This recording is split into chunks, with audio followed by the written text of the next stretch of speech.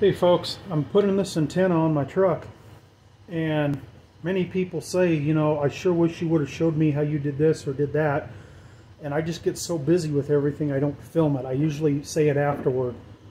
But here we go. Without ripping my headliner down. Okay.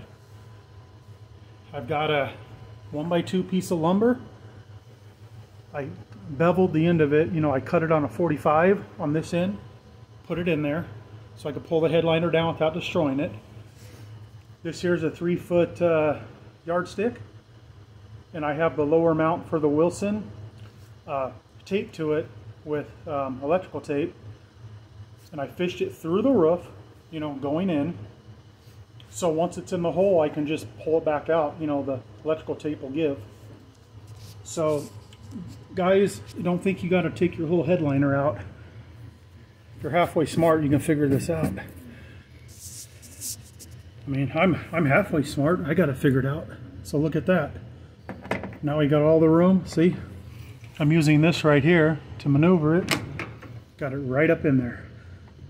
So stand by while I put the nut on there.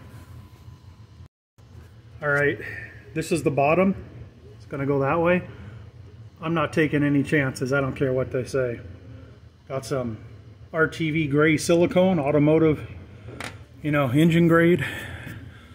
That way it's not gonna leak. Stand by. All right, folks, I got it popped in there. Got it tight in. You can see that RTV just barely coming out. Don't even have to wipe it off. Looks good. Um, I'm going to try to pull the yardstick out now, which I'm sure it should come right out because I've only got some electrical tape on it. Okay. Oh, look at that. Oh, look at that. The tape even came out with it. Awesome. Awesome. Now I can pull this back out. Let me show you that a little better. Stand by. Let me go down there. You know, I thought I was going to have to pull this head, whole headliner out. I didn't want to deal with it. I just ordered a Stryker magnet mount antenna. And, uh, you know, I ordered it this morning. I was like, you know what? I can get this damn thing in there. So there you go. See, here's the one by two here. See? That way you can manipulate it without destroying it. And then we can pull this out of there. It'll go right back up. See how I just angled the end a little bit.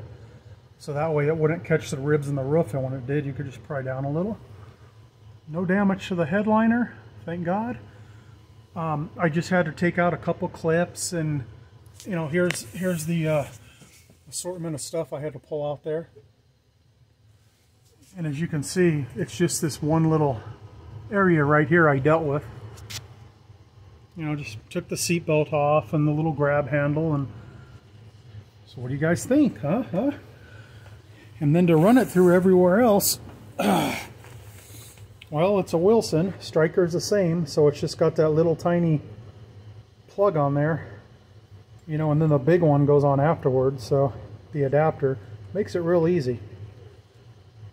I just wanted to show you that, guys. If you're on the fence about putting a putting a roof mount in there. Just work smart, think about it, take your time, and you'll be able to do it. Let's go up, let's go up top side one more time. Now I sure hope that Wilson 1000 works well for me. I had this on there because a buddy of mine gave me this antenna like five years ago. And I always thought these things looked goofy, but let me tell you something. This son of a gun's got ears. Um, in the mobile, my buddy could hear me uh, way out in Carson City. And that's like 45 to 50 miles, at least 45 miles as a crow flies, minimum, maybe 50. And he heard me with this. now, of course, you can't run down the highway with that mount.